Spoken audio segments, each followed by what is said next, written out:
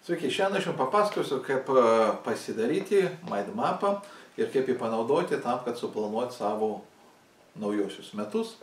Ir kas yra mindmapas, jo šio metodo kuriejas yra Tony Buzanas, labai džiaugiuosi, kad turiu galimybę asmeniškai pasimokytis.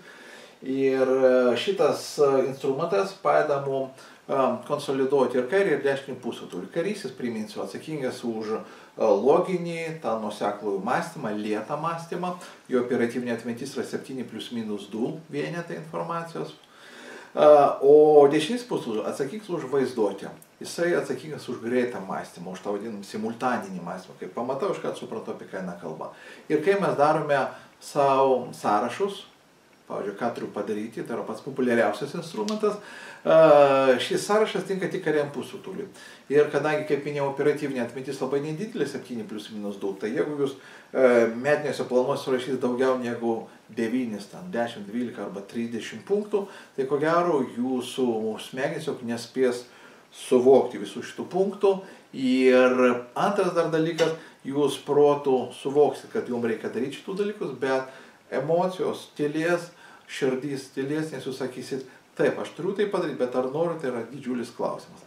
Mindmapas panaudoja ir kairį, ir dešinį pusrutulį ir leidžia už visos aibės idėjų, minčių, kurias jūsų norite gyvendinti, surasti prioritetus, sudėlioti juos, sudėlioti į lentynėlės, pagerinti jūsų atmintį, pagerinti jūsų to pačiu ir vaizduotę ir tai taps jūsų fantastiškų instrumentų visiems metams, plus šiais laikais yra daug IT sprendimų, kurie leidžia visą tai padaryti kompiuteriai, siuntinėti savo draugams, kolegoms. Tai kokia yra MindMapo esmė? Labai paprastos keletas taisyklių.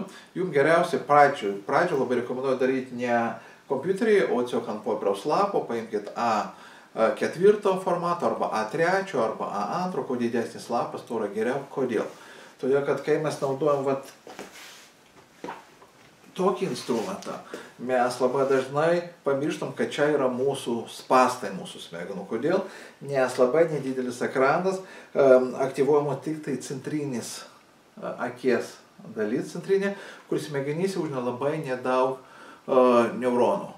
Kai mes naudojam didelius formatus, pažadinami centrai ir akyse, ir smegenyse, ir kuo didesnį vaizdą mes matom, tuo daugiau smegenų, tuo daugiau pajėgumų yra panaudojama. Buvo daryti tyrimai, pavyzdžiui, Boeing kompanijoje, vieniems inžinieriams, kurių lygis buvo tas pats, reiškia, davė tokio sukarpytą, brie, ten 20 lapukų brėžinuką, rinkinuką tokį prie naujo lėktuvo, o kitiems buvo didžiulis toks plakatas vienas. Ir atspėkite, kuriai grupiai pasisekė žymiai greičiau suvokti, kas yra kas. Be abejo, tai grupė, kuri buvo panaudojamas didysis formatas, žymiai lengviau. Taigi, pradžioj pradėkime su spalvotais flamasteriais, ant ko galima didesnio lapo, po to, kai jūs išmoksit pačių principų mindmapo, galėsite perkelti juos į kompiuterinę erdvę. Kokie yra dėsniai ir taisyklės? Pirmas dalykas, pagrindinė idėja, kurią jūs paėmat, pavyzdžiui, jūs padarėte gyvenimo matricą, apie kurią kalbėjau praeitam video, išrenkat siauriausius kaklelius, paėmat pačią svarbiausią sritį gyvenimo ir įdedat ją į viduriuką. Į viduriuką. Matote, labai svarbu, kad tai būtų centriniai daly ir užrašyta arba žodžiais, arba dar galim kažkokį čia piktogramą įdėti. Mhm. Toliau matote, mes išryškinam skirtingomis spalvomis svarbiausias šakas arba svarbiausias idėjas, kurios padės įgyventi pagrindinį tikslą. Sekantis labai svarbus principas, matot, pradžioje tai yra storesnė kaip medė. Storesnė šaka toliau jinai plonėja. Čia storesnė, po to jinai plonėja. Ir žodžiai visuomet rašomi ant virš, virš linijos. Ne po liniją, ne linijos vidurį, o virš. virš. Ir labai svarbu, kad žodžiai būtų suspausti, pati idėja suspausta iki vieno, maksimum dviejų žodžių, bet geriausia, kad būtų vienas žodis. Ir jeigu jūs galite, jūs naudokite piktogramas. Tam nereikia kažkokio super gražaus piešinio, bet piktogramos, mikroschemos tokios, jos leidžia iš tikrųjų dar aiškiau įsivaizduoti visą tai, ką jūs norite. Toliau tos stambesnės šakos suskaldomos dar į smulkesnės šakas ir vėl virš jų užrašote viršiau užrašote skirtingas idėjas, po to galite dar pasmulkinti, tokiu būdu jūs ant vieno mindmapo galite uždėti šimtą įvairių idėjų, bet jos bus tarpusai susijusios, suės į pagrindinės linijas, dar kad jūsų mindmapas būtų o, efektyvesnis, būtų gerai, kad va šitų stambiausių linijų nebūtų daugiau negu 7 plus minus 2. Šitų vat irgi, kad būtų ne daugiau negu 7 plus minus 2, nes, kaip minėjau, naudojamas ir karys, ir dešinys pusė. Ir jeigu čia būtų 25 va tokios šakos, tai iš tikrųjų būtų labai sunku jas, ką, jas po to susivokti. Dar priminsiu, kad viskas rašoma skirtingomis spalvomis paaiškoma, vat ir viskas. Duosiu pavyzdį. Jeigu jūs sekančiais metais norite pagerinti savo tris gyvenimo sritis, pavyzdžiui, pinigus, šeiminį gyvenimą ir sveikatą. Tai čia galėtų būti kas? Pinigai, kažkoks doleriukas nupieštas. Pagalvokite, kokie 3-5 e, elementai leistum pagerinti savo finansinę situaciją. Galbūt, jeigu reikia, tas e, punktus dar pasmulkinti.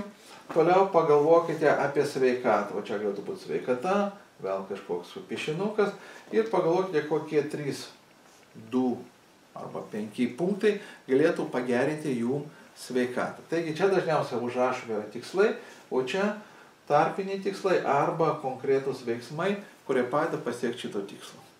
Ir ką tai duoda? Jums duoda galimybę visą savo planą pamatyti vieną paveiksliukę šitas planas suspaudžia ir išryškina pačius svarbiausius dalykus. Panaudojamos skirtingos spalvos, reiškia, panaudojama jūsų vaizduotėm, plus pats darbas, kai tu darai, spaudi, dėlioji gražiai, tai trūkti gražiai sudėliota, tai iš tikrųjų leidžia lengviau įsiminti visą tai, leidžia geriau išryškinti prioritetus ir be abejo leidžia visus metus vadovauti šitų žemėlapių kaip gerų, gerų, gerų tokių, nu, gerų pagrindų. Mat. Gera žinia, kad dabar, kai jeigu jūs padarysite 3, 5 arba 10 tokių mindmapų ranka, o jūs supras, kad ne iš pirmo karto išėjęs patys gražiausi mindmapai, kuo daugiau darysit mindmapų, to geriau seksis, bet laikų bėgant jūs po to galėsite pasinaudoti skirtingom tokiom IT sprendimas, vienas iš jų mindmapping.com, kuris leidžia ir nemokamai kažkiek padaryti mindmapą, po to yra papildomos funkcijos. Bet iš mano